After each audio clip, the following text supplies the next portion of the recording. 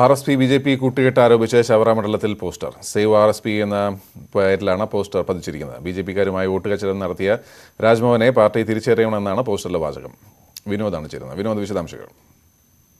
ആ, കഴിഞ്ഞ ദിവസം രാത്രിയാണ് ഇത്തരത്തിലുള്ള പോസ്റ്ററുകൾ പ്രത്യക്ഷപ്പെട്ടത്. ആർ എസ് പിയുടെ വോട്ടുകൾ ബി ജെ പിക്ക് മറിച്ചു കൊടുക്കാൻ ശ്രമം നടക്കുന്നു എന്ന തരത്തിലാണ് ആക്ഷേപമുള്ളത്. സേവ് ആർ എസ് പി എന്ന പേരിൽ വിവിധ ഇടങ്ങളിലായി പോസ്റ്റർ പതിച്ചിട്ടുണ്ട്. താവരാട്ടെ കേന്ദ്ര ഇലക്ഷൻ കമ്മിറ്റി ഓഫീസിലും മറ്റ് ആ, ഷുബു ബേബി ജോണിന്റെ ഫ്ലക്സ് ബോർഡുകളിലുമാണ് ഇത്തരത്തിലുള്ള പോസ്റ്ററുകൾ പതിച്ചിട്ടുള്ളത്.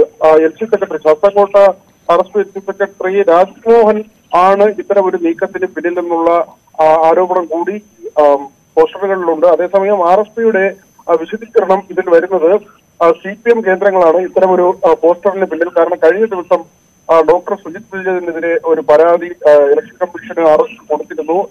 മദ്യം വിതരണം ചെയ്യുന്നു. വോട്ടിന് വേണ്ടി മദ്യം വിതരണം ചെയ്യുന്നു എന്ന ഒരു പരാതിയാണ് നൽകിയത്. ദൃശ്യങ്ങളടക്കം തിരഞ്ഞെടുപ്പ് കമ്മീഷന് പരാതി നൽകുകയായിരുന്നു. ഇതിനു പിന്നാലെ ആർ എസ് പിക്കുള്ളിൽ ഭിന്നത വേണ്ടി പ്രാദേശികമായി ആർ എസ് പി നേതാക്കളെ ആക്ഷേപിച്ചുകൊണ്ടുള്ള പോസ്റ്ററുകൾ പതിച്ചു എന്ന ഒരു വിശദീകരണമാണ് ആർ എസ് പി കേന്ദ്രങ്ങളിൽ നിന്ന് നമുക്ക് ലഭിക്കുന്നത്. ഗോവിന്ദ് ശരി വിനോദ്.